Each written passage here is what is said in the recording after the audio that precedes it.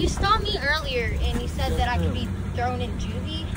What exactly am I doing that's illegal? So, when I left the office, you were over there talking and you quickly. You taping me? You can tape me, Okay.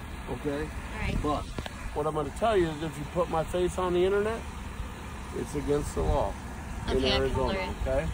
So I'm not giving you permission to use my picture or my face on the internet. You Okay. understand all that? I understand that. Okay.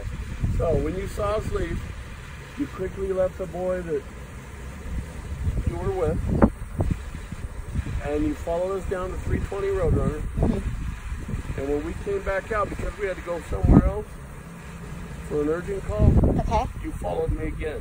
Yeah, and how's Right. that illegal? So don't follow law enforcement, because you already came in and told me you were a reporter, Yeah, and I and I don't want you to get hurt. I I'm looking out for your safety. Okay. Okay? The area you were in is where we're dealing with the mountain lion. The mountain lion. Yeah.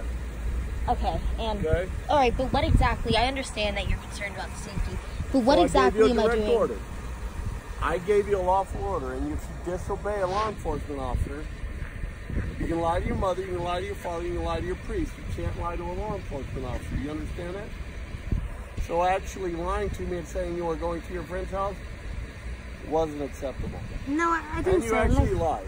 my friend lives right there. In fact, if you want, you can knock on her door when you ask saw us leave, you turned around, you didn't even make it to your friend's house.